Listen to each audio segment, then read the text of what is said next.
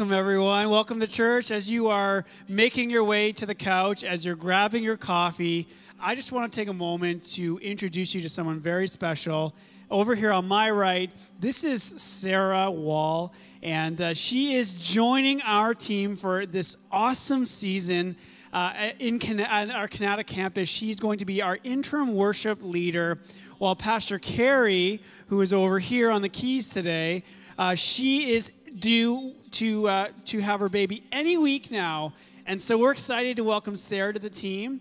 And uh, we just want to take a moment to pray for her because we know this is not the easiest time to be jumping in, but uh, we know that everything that she needs, God will provide. So we're just going to pray for her right now. So would you just pray with me? God, we just extend our prayer, Lord, on behalf of Sarah and her family. God, we thank you that you have brought her to us, to this church, to our Kanata campus for such a time as this, oh God. Lord, we just ask you, God, just to open up the heavens and may you anoint her with your Holy Spirit. Fill her with power, fill her with love, Lord. And I pray as she sings, and as she leads, oh God, that there would just be an invitation to come and see the goodness of our God, to taste and see all that you have done and all that you want to do. God, we believe that you are going to do great things through her leadership in this next season at Lifecentre, God. And so we're just saying, Lord, have your way in her life, in her family's life, Lord. Have your way in our lives and in this church. God, we pray this in your name. Amen. Amen. It is such an honor and privilege to be here with the Lifecentre family, with the Lifecentre community. And even though we're spread out all across the city today, we can't be together.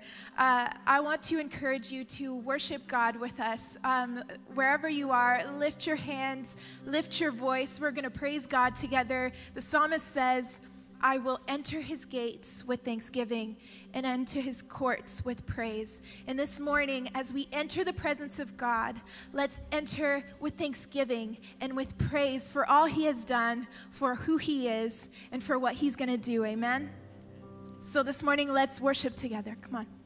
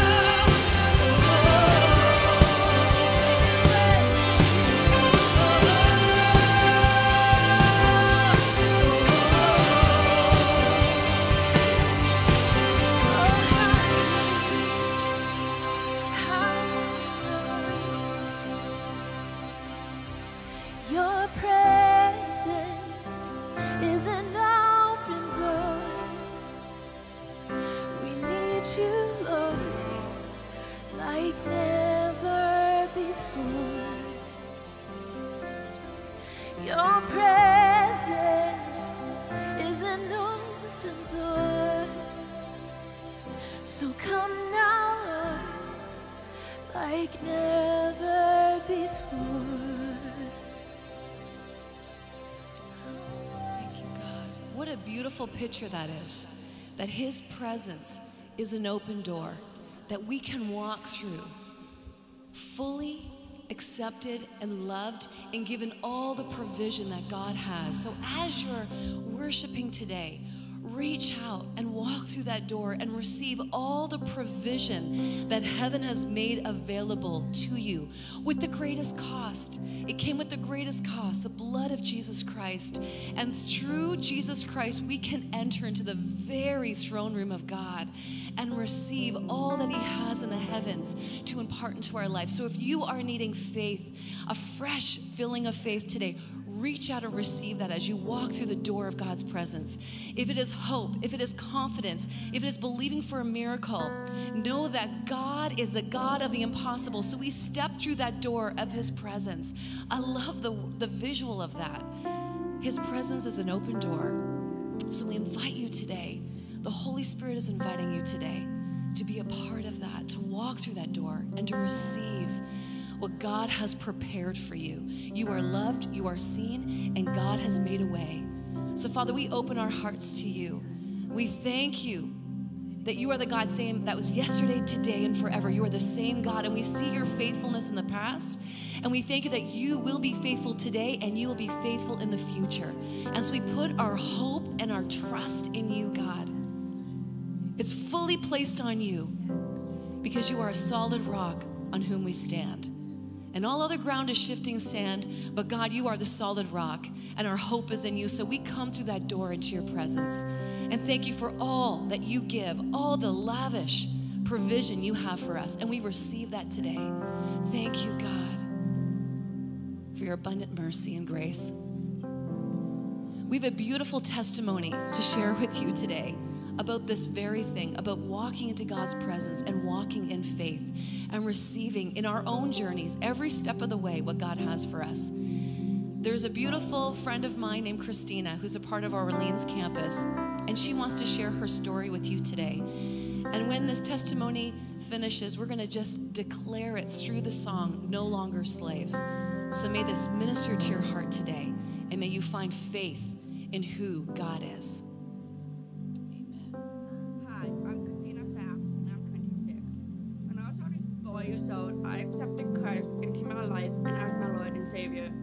Um, my mom wondered what would take her so long in the washroom and came and found me. She found me flat against the wall in the bathroom with my arms stretched out in the shape of the cross, my legs straight out. She asked me, what are you doing? I said, Jesus died. We talked about why Jesus died there in the bathroom, and I said the sinner's prayer. I accepted him into my life I went to church and attended Sunday school. I read my Bible and say my prayers. The reason I love this song, No Longer Slaves, so much because I live this song out in my daily life every day. I struggle with high anxiety and stress along with OCD tendencies. So this song speaks so much about not living in fear and that you are a child of God. Like no matter how much you are living in fear, I sing this song with so much passion and hope, and I have a reason for that. I am a child of God, and I'm not afraid of showing that I live in fear. Well, in my case, high anxiety and stress. I completely 100% believe what I said with this message in this moving yet powerful song. When I first found out I had Down syndrome, and I, when I was pretty young, I must admit I found it very hard and also hard to accept. It, it took me quite a long time to accept that my Down syndrome is a part of who God made me to be. Even my parents found it hard and scary when they found out I had Down syndrome when I was born. But that didn't stop them from having me as a baby. I truly admire that of my parents with their strong faith in God and that didn't let living in fear stop them. So I won't let living in fear stop me because I am a child of God. This is me. I am not afraid of showing the world that too. I am brave, courageous, a warrior, compassionate, caring, loving, trustworthy, and I'm fearfully and wonderfully made. My favorite verse is Psalm 139:14. The reason why it's my favorite because it says I am fearfully and wonderfully made, which I completely believe in. I love God and He loves me. I believe that, and I'm so thankful that I have a deep, intimate relationship with, with God. I hunger and thirst every day for more truth from the good and powerful words from the Bible.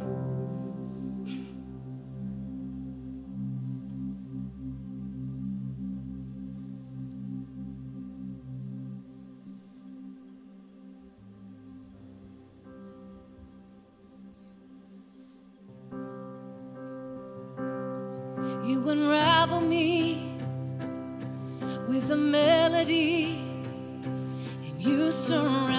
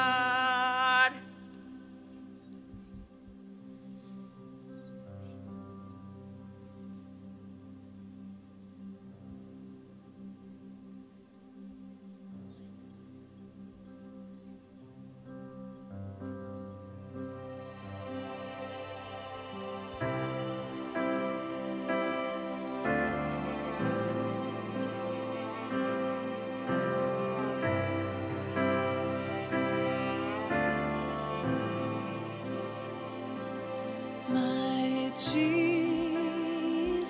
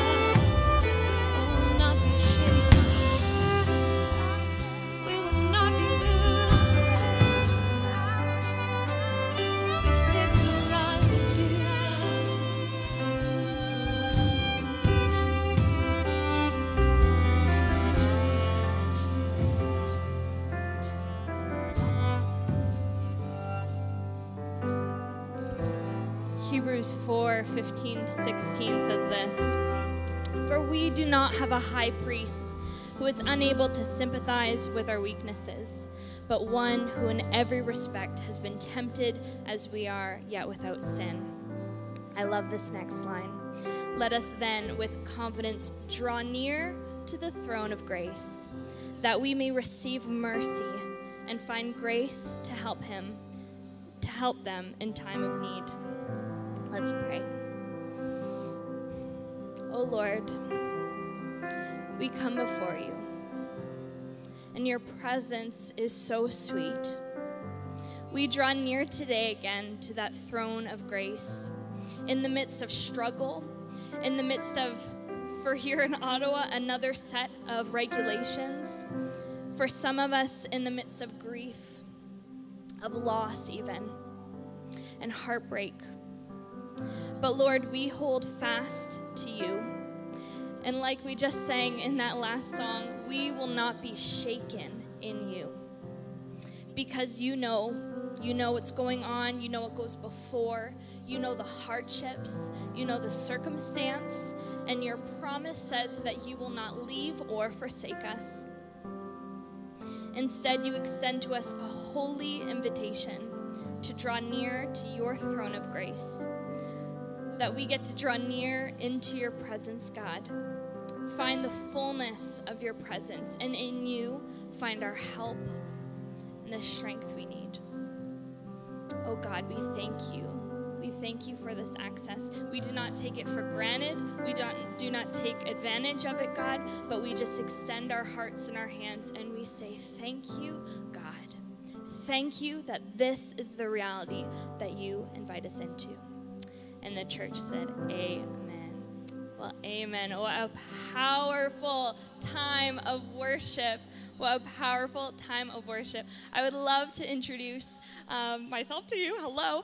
Um, my name is Pastor Soraya, and I oversee the communications here at Lifecentre. If you are active online, I have the privilege of seeing your comments and your messages. That's me in the chat. Um, so I just want to say a shout out to those of you who tune in week to week online and to the rest of the church who are all tuning in online at this time.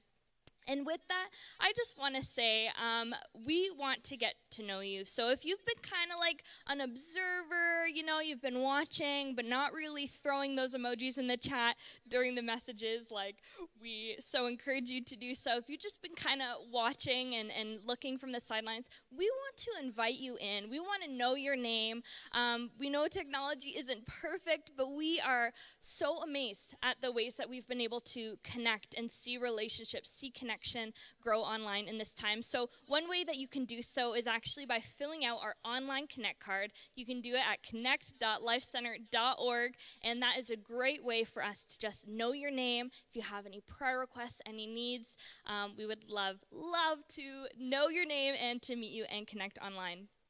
As well, we just want to take a moment to thank God, to praise Him for His provision and for His faithfulness in this season and always. And as the return of our hearts, we just want to return our first fruits to the Lord in the act of giving. So at this time, or any time really, you can give online as we can't do it in person at this time, but you can give online. There are many options um, for you to choose from, whatever works for you. So you can do so at lifecentre.org/give.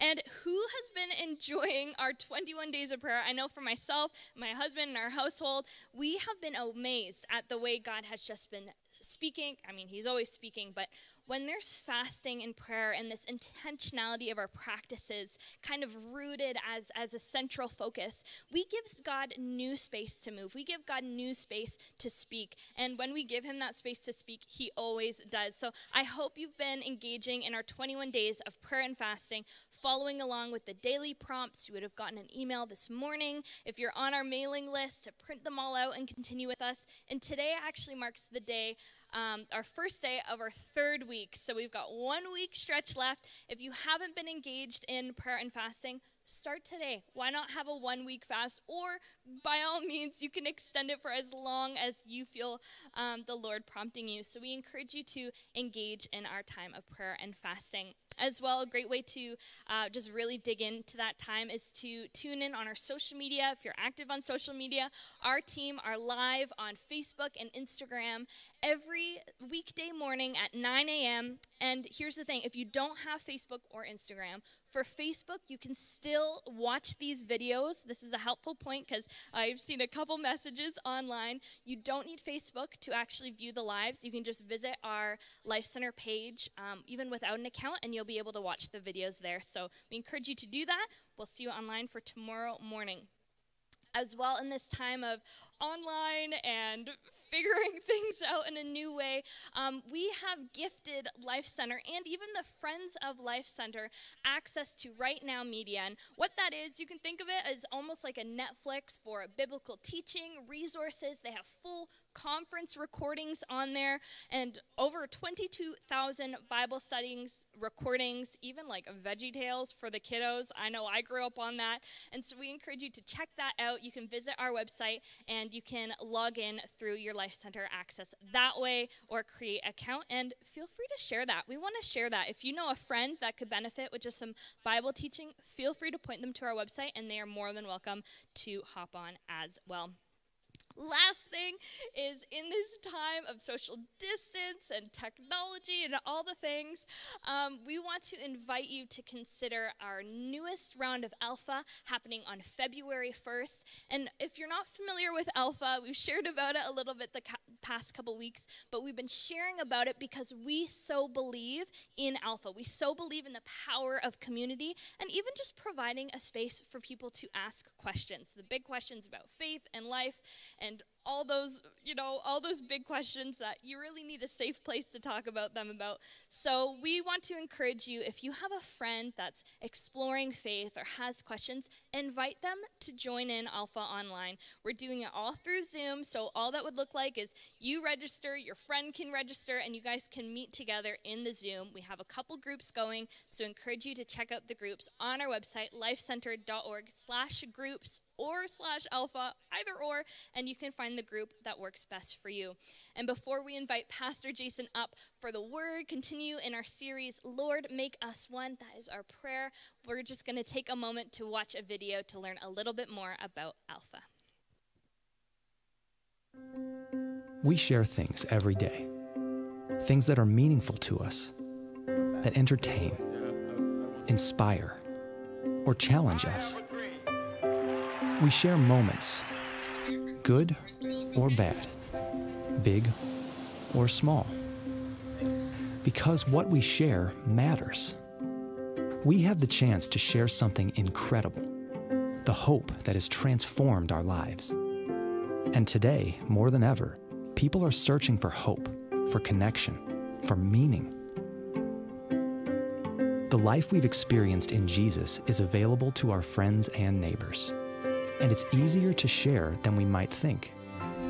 Over the next few weeks, we are running Alpha, an opportunity to share Jesus with friends, family, and colleagues in person or online.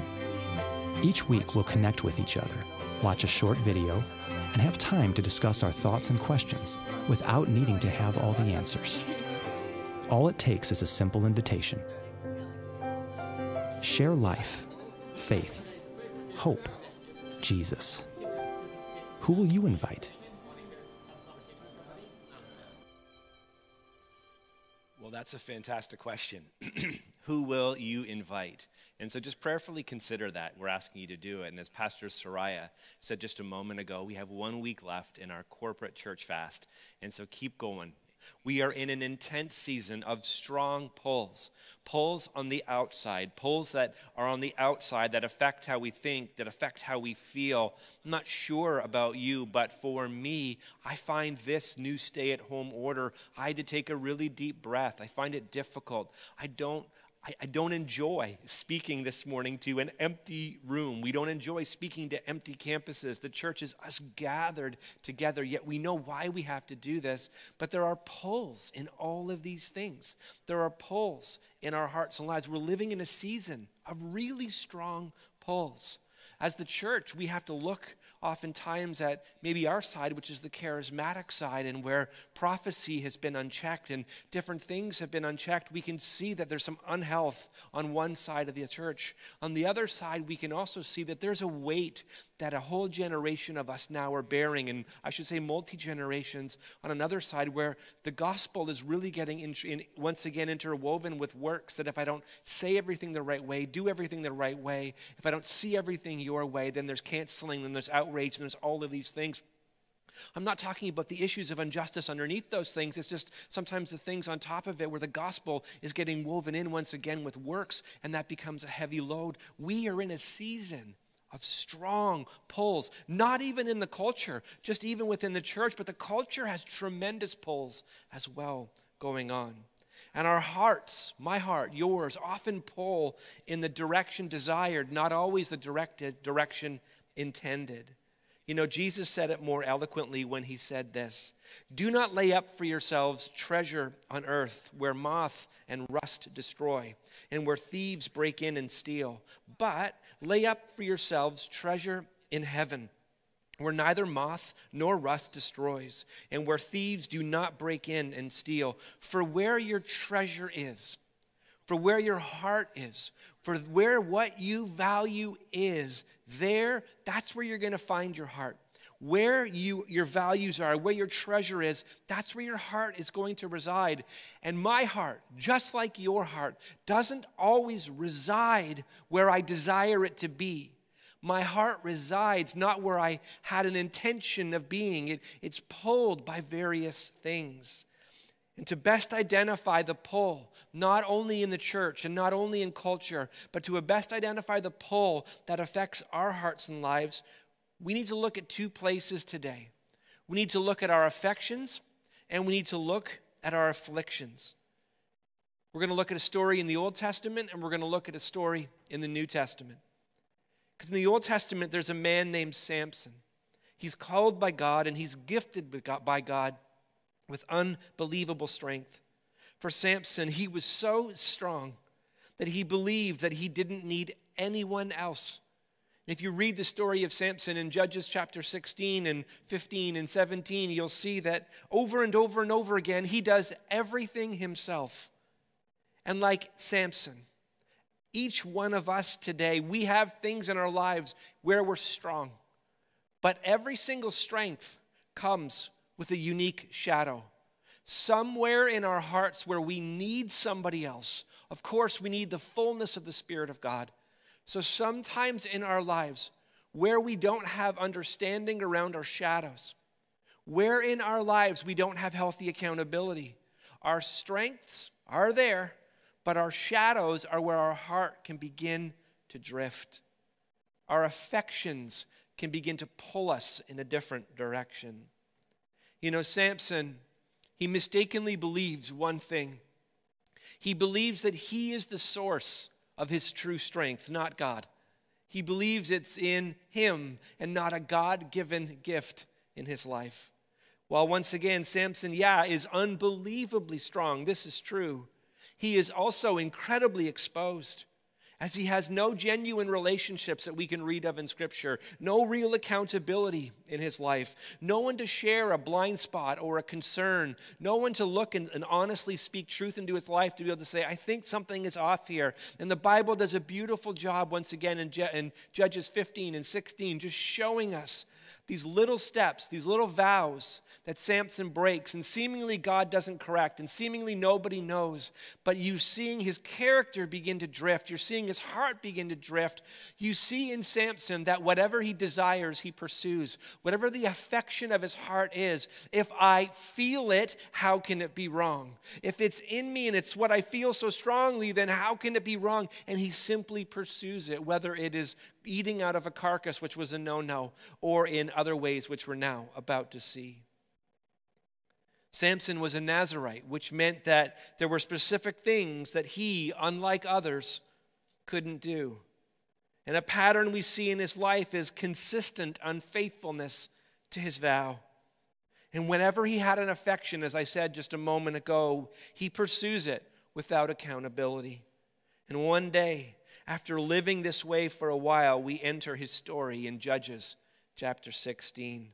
There is always a season between what we do and when we're caught, or when we confess, or when we're caught in what it is that we've done. And I believe that part of the move of the Holy Spirit that we're in is we're in a season of revealing. It's always easy to see something in someone else. It's hard for someone, maybe, it's hard to see our own shadows. And it's hard sometimes for us to hear when others speak these things. So, Judges chapter 16, verse 1 says this Samson went to Gaza, and there he saw a prostitute, and he went into her. This is Judges 16, verse 1. Continuing to read in verses 4 to 5. And after this, it says, He loved a woman in the valley of Sorek, whose name was Delilah. And the lords of the Philistines came up to her and said to her, Seduce him and see where his great strength lies. So Samson loves her. He first he pursues her, he sleeps with her, he falls in love. So the affection of his heart is pulled, and he has no accountability, and now he's vulnerable. His faith is rooted in his own strength, his own gift, his own abilities, and he doesn't yet know it. Seduce him and see where his great strength lies, and by what means we may overpower him, that we may bind him to humble him.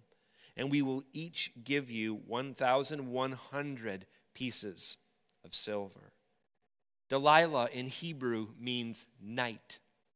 Samson's name in Hebrew is connected with the sun. And so, in a poetic sense, the Hebrew writers want us to begin to engage here that the sun has fallen in love with the night. That there is something occurring here that shouldn't be occurring, that is ominous, that is dark, that is foreshadowing what is about to come. Samson is blind. He's not yet physically blind. That comes in a few minutes, in a few chapters in the story. But he is blind to where his affections have led him. Again, he's not blind in the sense that he can't see the danger but he's blind in that he mistakenly believes he is stronger than he really is. How many of us have got ourselves in a difficult situation, in a situation of fallenness, in brokenness, because we have allowed the affections of our heart to delude us, not only to what it is that we chase, but we are in a space where we are deluded in thinking, in this space, I am stronger than I actually am. That I can do this and it won't affect me. I can engage this, but it won't lead to bondage. I can watch this, or I can speak this, or I can share this, or I can live this way. And like Samson, again, he has these little breaks of his vows, breaks of his vows, breaks of his vows. And because he's not corrected, because God doesn't come down like a heavy, he mistakenly believes that because God doesn't do that, God is okay with things. And there are some times in our lives where we can mistakenly believe in our lives that because maybe I can sing great worship songs or, or I know God, I have a lot of knowledge about God, that, that God is seemingly indifferent to these small things, but He isn't because affections create alignment issues in our hearts and lives. Straying from God happens one step at a time. Rarely does it happen in a single step. It does for some, but it's very, very, very minute who that happens to. Yet straying from God happens one step at a time. Samson plays with Delilah three times, not realizing that he is the one being played once again. He is blind in this situation. His shadow, his affection has led him to a place of blindness where he can't see.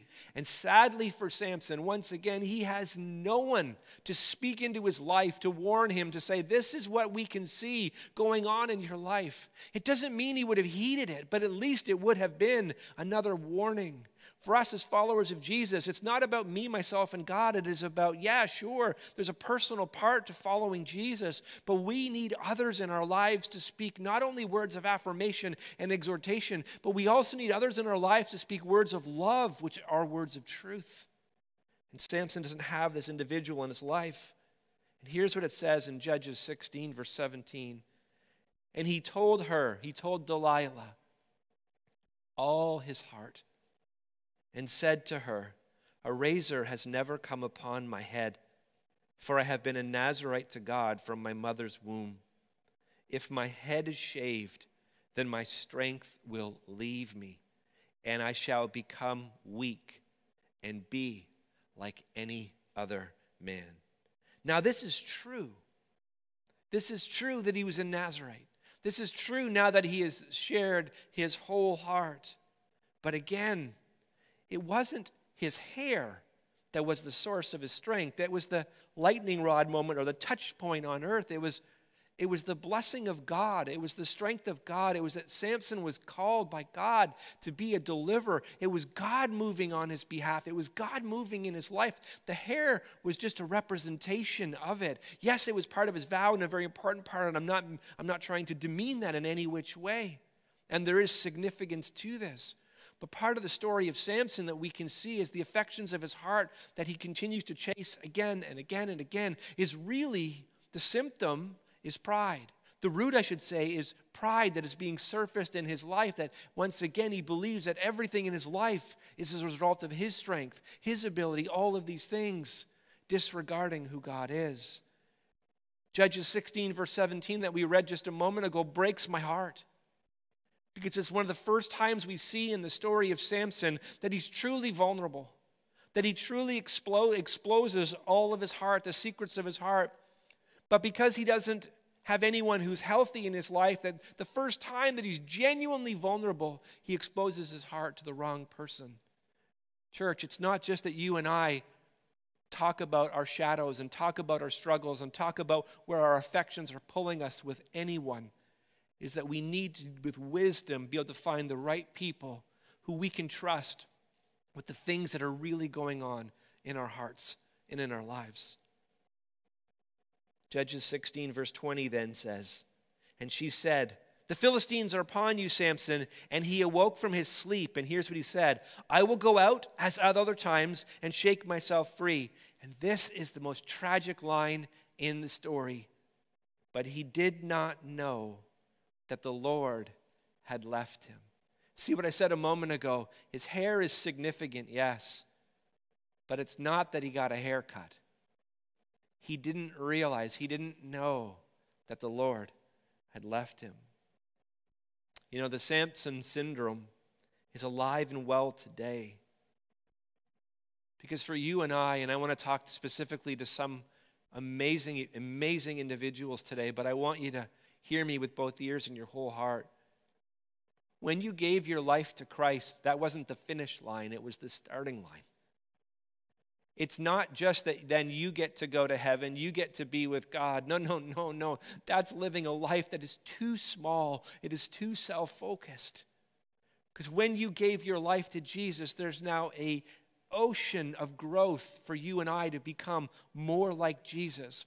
Because the more we become like Jesus, the more you and I let the affections of our heart be pulled from the things of this world and realigned to who Christ is and to be more like Jesus, then the more we make a Jesus sized difference in the world that we live in. The more we can make a Jesus sized difference in our singleness, in our relationships, in our marriage, in our parenting. In, in, in any which way that you want, any work, whatever it happens to be, that you and I can be used by God in an extraordinary way. So, how do we align when the affections of our heart may be pulling us in this season?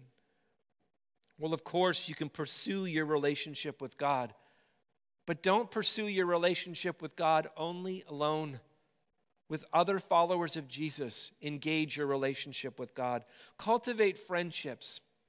Cultivate people in your life who can speak truth to you, not only what you want to hear, but sometimes what you need to hear. Spoken in love, yes, but spoken in truth. And remember, you were created for more than salvation.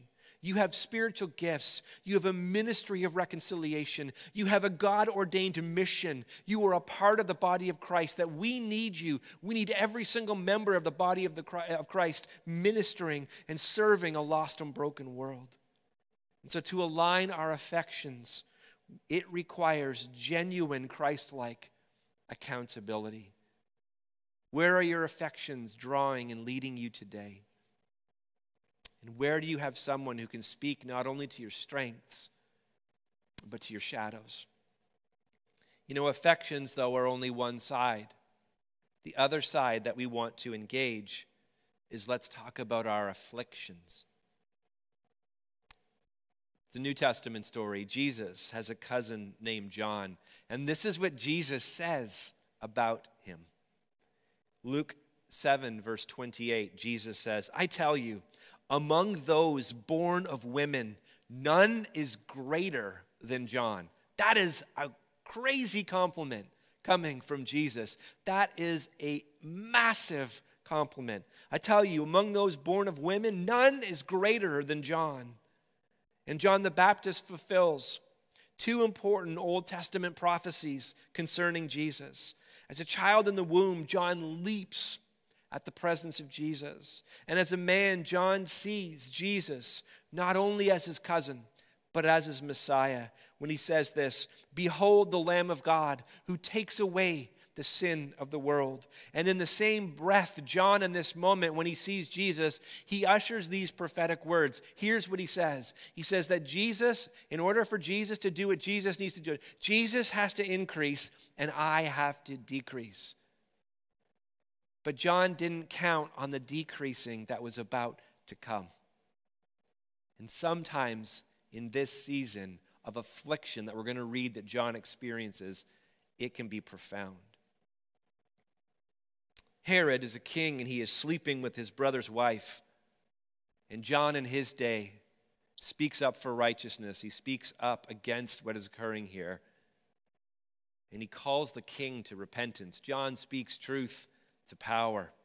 And just like it was today or then, power doesn't like it. And it goes as well as you think. To silence John, Herodias puts him in prison. And Herodias has a daughter who dances for the king, dances for Herod, and he is so moved by lust that he promises her half of his kingdom. But at the request of her mother, she denies that and she asks for John the Baptist's head. She asks for John to be executed and without trial, which is against the law. So, this is injustice that John is experiencing. What's happening to him should not be happening to him. He is now in prison and he is awaiting execution. As I said a moment ago, experiencing profound affliction. John, who's the same one who said that I have to decrease so that Jesus might increase, now is experiencing a decrease that he didn't define for his heart and life. And day after day and week after week in isolation and alone, his heart begins to stir. Now remember, Jesus said, born among women, John is the greatest. John, when he was in Elizabeth's stomach as a, as a baby, when Mary approaches and Jesus and Mary's pregnant with Jesus, he leaps. When he sees Jesus, he doesn't just see a family member. He says, Behold the Lamb of God who takes away the sin of the world. This is John. John knows who Jesus is. Yet he goes through a season of deep affliction, and his heart begins to be pulled because here's what he says in prison in Matthew 11, verses 2 to 3. Now, when John heard in prison about the deeds of the Christ, about Jesus, he sent word by his disciples, by John's disciples. People were following John, so he sends them to Jesus and said to him, Are you the one who is to come, or shall we look for another? Did you get that? John, the greatest born among women, John, who from his infancy knows who Jesus is. John, who knows that he has to decrease for Jesus to increase. John, who says, There's the Lamb of God who's going to take away the sin of the world. Pinpoint clarity on who Jesus is. But in a season of affliction, in a season where things begin to push upon him, not affection, affliction. John in this season begins to doubt. John, day after day, week after week, when Jesus isn't doing what John thinks Jesus should be doing, for him, his heart begins to stir. Because affliction can cause even the most devout to experience doubt. Affliction can cause even the most devout followers of Jesus to experience doubt. Experiencing doubt doesn't mean that you're not strong. Experiencing doubt means that your heart is being pulled by the afflictions of what it is that you're experiencing. It makes you human because life is unfair when what God requires sometimes, when God says no to something, no, this is how you're to live, when how we want to live crosses purposes with how God's word says we're to live. In any which way in our hearts and lives, these are hard spaces of affliction. When you ask in earnestly God to zig, and it seems as though God zags, these are hard seasons when you do everything correct according to the word, that you root in Jesus. You root in and you do everything his word says. And at best, it seems like God goes silent. At best, it seems that you live with unanswered prayer when you experience a season of affliction. It affects and it pulls on our hearts because affliction can cause a destabilizing doubt to pull our hearts in a different direction. James chapter 1 verses 6 to 8 says, "But lem, let him ask in faith with no doubting. For the one who doubts is like a wave of the sea that is driven and tossed by the wind. For that person must not suppose that he will receive anything from the Lord. They are, he's a double minded man. They are a double minded woman. They are unstable in all their ways. There is a vast difference, church, between doubting what God is doing or isn't doing and doubting who God is. There's a vast difference between these two things. Double minded means that you and I are torn between God and this world.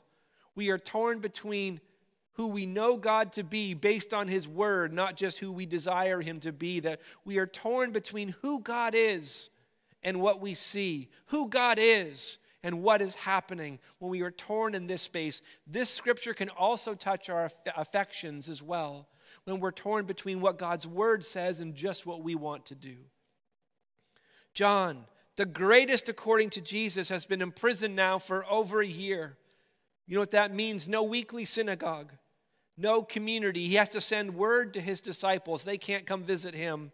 No spiritual friendships, no gatherings. Only hearing about what Jesus is doing, not experiencing it for himself. And through a pandemic and John in prison, they can't be more dissimilar. They do have some similarities to the season that we find ourselves in. No gatherings are hard no corporate community, no gathering even in a life group, no even just affection, a hug, a high five, a five minute prayer at the end of a service to say you're not alone. We're, we're here. We're here digitally. We here, we want to reach out, but sometimes I, like you, want to scream through the camera. I want to scream. I just want to, you know, I'm not even a hugger and I want to hug. I want to wrap my arms. This is a difficult season.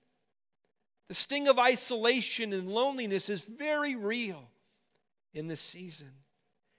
And affliction always does one thing. When the enemy gets a hold of affliction, he has one purpose. And it's starting to be seen in the life of John here. And it can be seen in ours. Affliction seeks to align our hearts in offense towards God.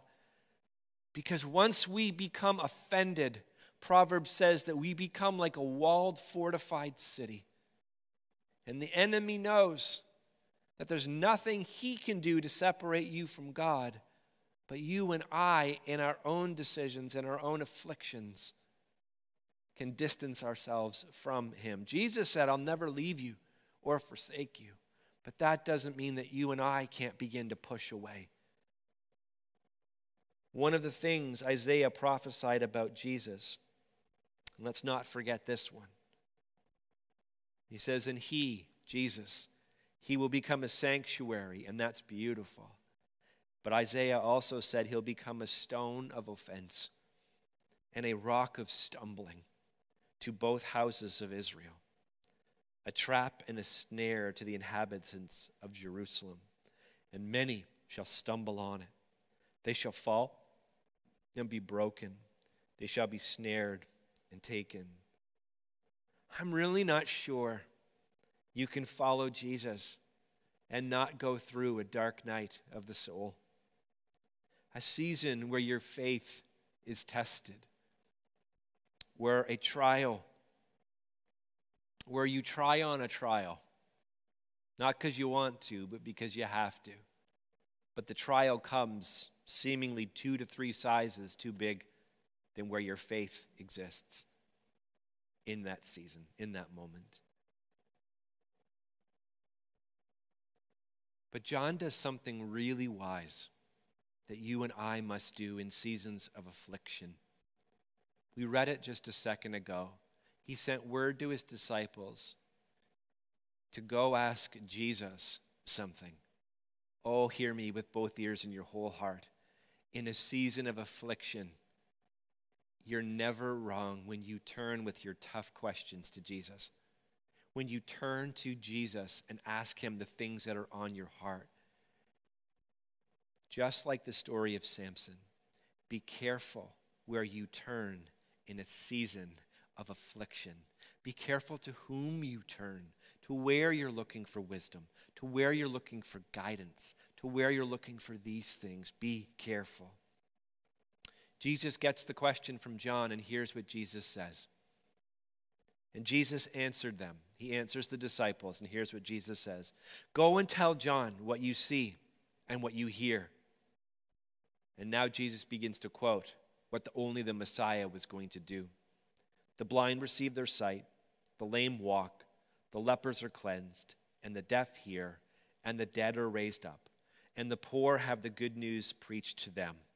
And then he says these words to get all of that is I am the Lamb of God is going to take away the sin of the world. Like we talked about last week, where this river flows, where this coal touches, life begins to flow. And we see this in the person of Jesus. And then he ends and says this part And blessed is the one who is not offended at me.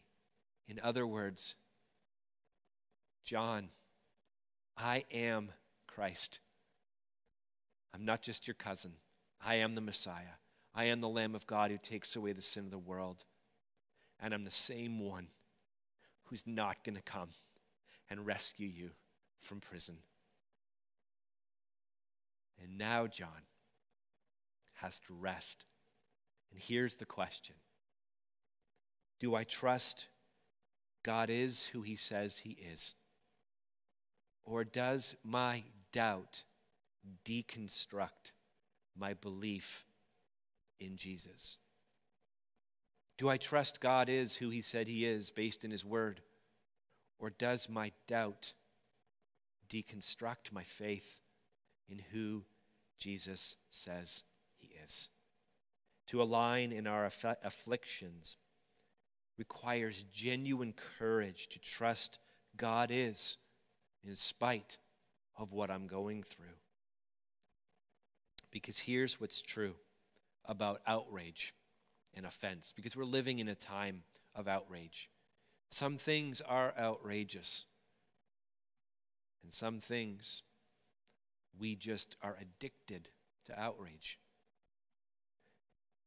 A statement of offense or outrage doesn't speak to whether it is true or false. It just speaks to an emotion, a belief, a perspective, or a worldview. So the presence of outrage or offense doesn't always mean an offense has taken place. Jesus has done nothing to John at all. Herod, Herodias, yeah. Unjust trial, yeah. Jesus has done nothing to John. And so Jesus says, I am who I am.